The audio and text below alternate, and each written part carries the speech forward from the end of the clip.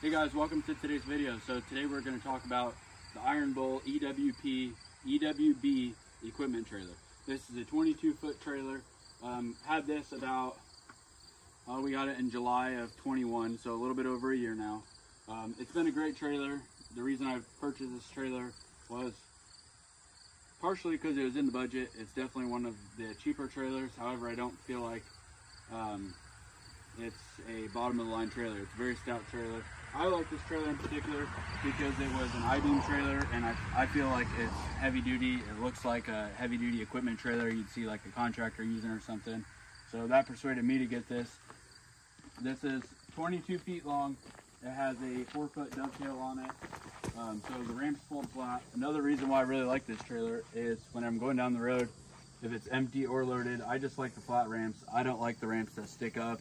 Um, yes, the loading angle is better with ramps that stick up, but in my past experiences, ramps that stick up bounce a lot. And let's say you're going on a long road trip to pick up a truck or a piece of equipment and you're driving the trailer empty, the trailer rides like crap. Um, this trailer, I mean, I've drove it six hours one way unloaded and you don't even know it's back there. It tows so good. The ramps will either stand up flat, they have holding, holding pins right here that hold it flat. And these pins are super heavy duty. It's not like the, the ramp's gonna fall down. It's got these pins that hold the bars. I really like that. Um, it's got these that hold the ramps closed and I'm missing the pin on that right now because it fell out. So, so this trailer is a 14,000 pound rated trailer. I think the trailer empty weighs 3,800 pounds. So it'll haul like 11,000 pounds on it is what they suggest. Um, I think we've hauled, hauled probably 12, 13,000 pounds on it. Um, a skid steer and um, what do we have on the front of it? A roller. So that's a roller is pretty heavy and a S76 Bobcat skid steer that's pretty heavy too. So I'm sure it was quite up there. Trailer handled it just fine. So another huge feature to this trailer that I really like is this ginormous box. A lot of open trailers, they don't have any box on them at all and you end up throwing all the chains and straps in your truck. Leaves your truck a mess. I don't like that. Whenever I want to hook up to my trailer, I want all my chain straps, tools in here, and I don't want anything in my truck. That way, if somebody comes and borrows it, everything's loaded in here. It's great.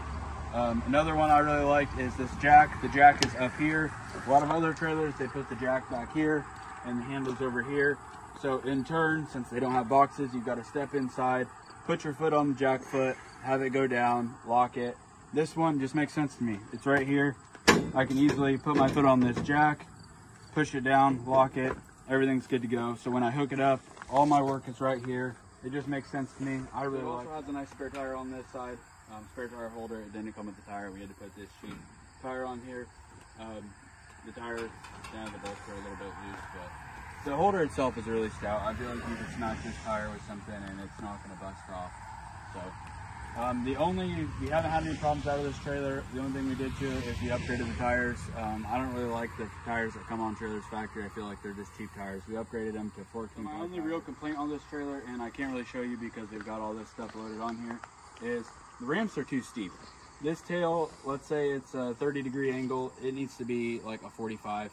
Um, I know on some of the other trailers that are have these similar ramps, when you flip them over, they sit flat on the ground. These do not. So when you load up something heavy, such as a heavy skid steer, mini excavator, the tractor doesn't do it, it's not heavy enough, but something heavy, it bucks the trailer and sits the rear end way down. I don't really like that. Um, that's probably why the guy behind the camera knocked the skid steer into the fender because it, it really comes up and um, especially with something with tracks, there is a real tipping point to it, more than most trailers. So that's my only complaint, but I think the reason that they give you that angle is because the deck height on this trailer is a little bit taller. Um, I'm not very tall, but it's about waist height. I know on some of the other trailers, um, not the I-beam style trailers, but the deck's a lot lower. So that's probably why, in turn, the tail has to be too steep. Maybe if you lower the trailer six, eight inches, then the ramps aren't as steep. But that's my only real complaint. The deck height being taller is kind of nice sometimes if you're let's say you you're working somewhere and you're working with wood like plywood or something you're using the trailer kind of as your table. Um, the deck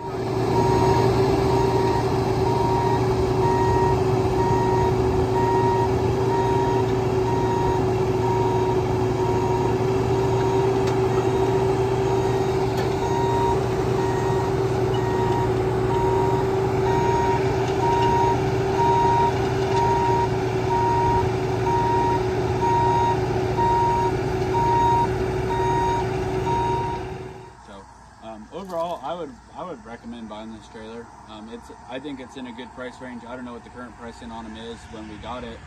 Um, the pricing was good on it. I felt like I was getting a good bang for the buck. Um, the powder coat on it's really good. I didn't want to buy a trailer that looked like crap after a year. Um, everything about it, it, it works. It works for us. Um, if you're hauling, if you're going to use it day in and day out, hauling heavy equipment, I'd probably get a tilt deck or maybe a Diamond C, something a little bit heavier, just for the sake of loading it and unloading it. Yeah. Um, if you're like us and you're hauling a wood splitter and a tractor or um, side by side, something not super heavy. Well, I mean, it can haul heavy. It's just if you were going to do it every day, I probably wouldn't buy it. Yeah. But the use that we use it for, occasional trucks, side by side tractors, it works great. It, it was a great bang for the buck trailer. Um, so I would definitely recommend it. Um, and this came from Hanks in Aledo, Illinois. So if you're in the Midwest and you need a good trailer and great people to deal with, um, check out Hank's Power. So thanks for watching, guys. If you're interested in anything, um, trailers, trucks, side-by-sides, tractors, log splitters, chainsaws, um, subscribe. We really appreciate it. And thanks for watching today.